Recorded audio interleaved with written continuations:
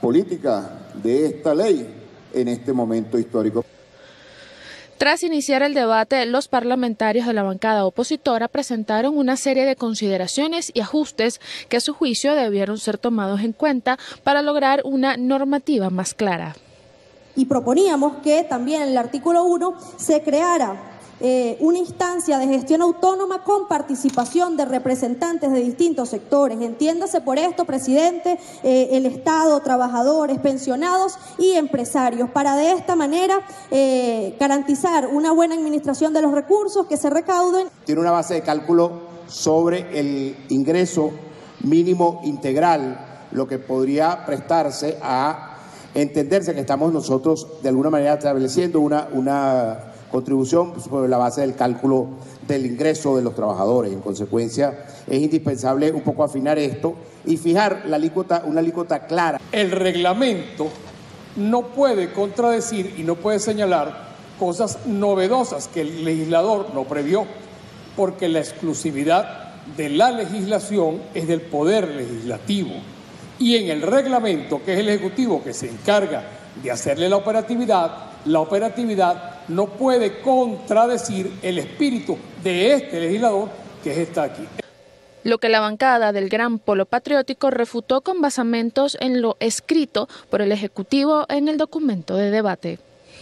Hoy día le corresponde al sector empresarial también colocar su aporte, ayudar dentro del marco económico con un aporte, con una banda que va del 0 al 15%.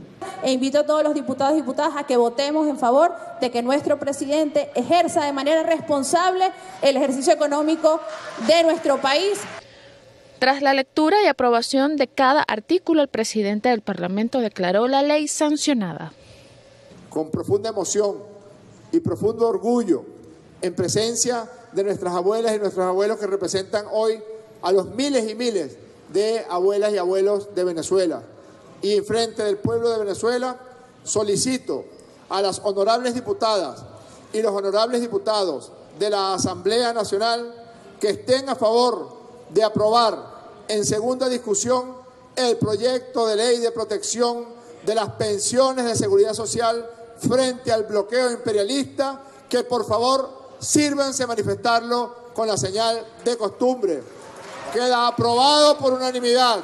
En consecuencia, se declara sancionada la ley de protección de las pensiones durante la sesión ordinaria de este martes también fue aprobado un acuerdo en repudio a la denominada Operación Gedeón del 3 de mayo de 2020 que entre otras cosas indicaba la invasión internacional de nuestro país por las costas de La Guaira y Aragua. Michelle Agreda Flores, Globovisión. El presidente del Consejo Nacional del Comercio y los Servicios, Conce Comercio, Gustavo Valecillos, expresó su satisfacción por el aumento de la economía en el primer trimestre de 2024 en comparación al 2023.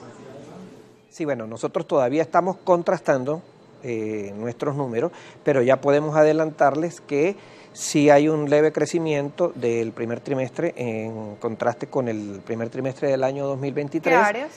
De más o menos de la economía creció en un 2%. Los, los sectores que, que, más crecieron, el que más creció, que nos ha reportado, pues fue el sector farmacéutico, que creció, que creció cerca, cerca de un 48%.